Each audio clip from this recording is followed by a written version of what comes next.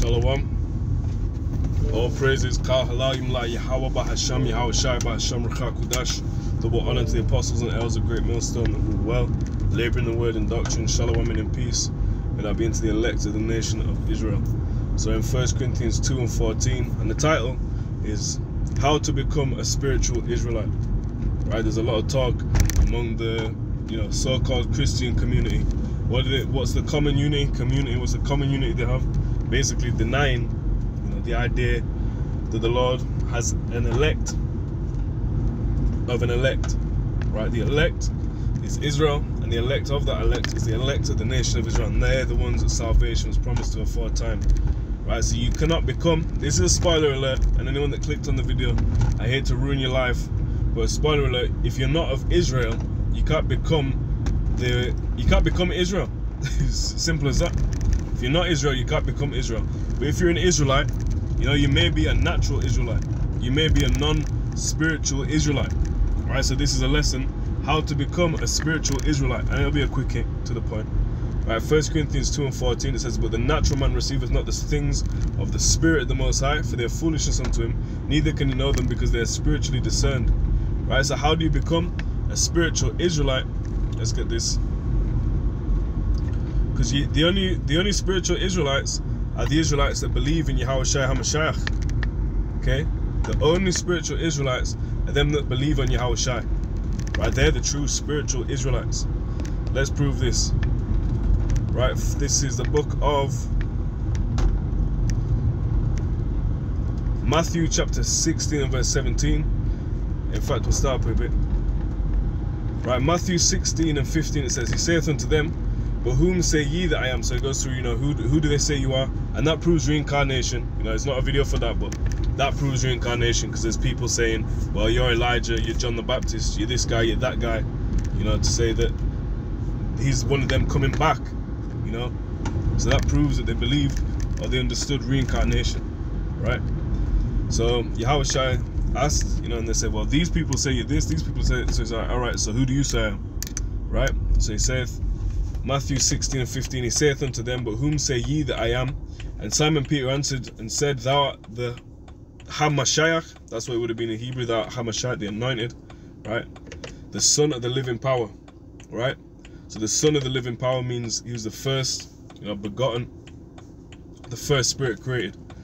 And Yahushua answered and said unto him, Blessed art thou, Simon Bar Jonah, right, son of Jonah, for thou, sorry, but blessed art thou, Simon Bar Jonah, for thou, excuse me again, for flesh and blood hath not revealed it unto thee, but my Father which is in heaven. So what does that mean? It was of the Spirit that it was revealed.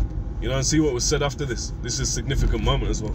It says, and I, and I, and I say also unto thee that thou art Peter, and upon this rock I will build my church. You go into the word Petros, it mean? It means rock. Right? Upon this rock will I build my church, and the gates of hell shall not prevail against it. So that was that was proof that Peter was a spiritual Israelite. Right? It was revealed unto him. Right? Through what? Not through flesh and blood, but the Heavenly Father. Guess what? He's the Father of spirits. Right? So this is how you become a spiritual Israelite. Again, it's not going to be a too scripture heavy video. It's just going to be a quick hit to the point. This is how you become a spiritual Israelite. Right, Matthew 10 and 34. It says, Think not that I'm come to send peace on earth. I came not to send peace, but a sword. So there's division, right? There's division between those Israelites that know they're Israelites, and that's about it. You know, the, the Sadducees, the Pharisees, the scribes, the one of them, they knew they were Israel. They weren't spiritual. No, I can't say that every single one of them wasn't. But them that denied Yahweh Shai, them that couldn't see it, guess what? They were not spiritual Israelites. You know? Or they were they were they were spiritual, but they were into some demon spirits. the devil is a spirit. You know, it says try the spirits, test the spirits. You know, many false prophets gone out. See, so maybe they're spiritual, but they're they're into some left-handed spirits. Right? They're into some spirits of idols. Right? So how do you become a spiritual Israelite? You believe on Yahweh Shai, you know, as the scripture has said. Right? And then we'll get verse in fact you know go back to second corinthians first corinthians chapter 2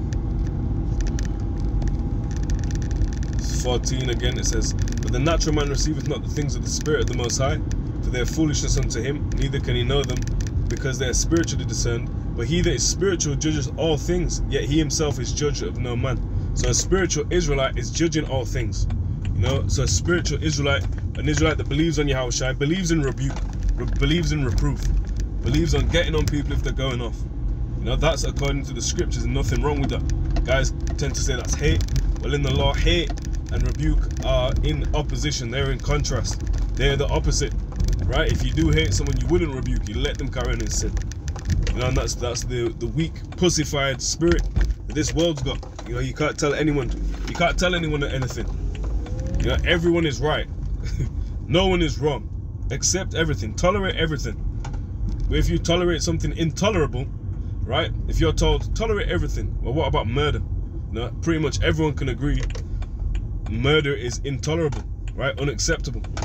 But again, you, you so you have to have you know a metric, a judge. He that is spiritual judgeth all things, yet he himself is judge of no man. Who hath known the mind of the Lord that may instruct him? But we have the mind of Hamashiach, right? So we're striving for that.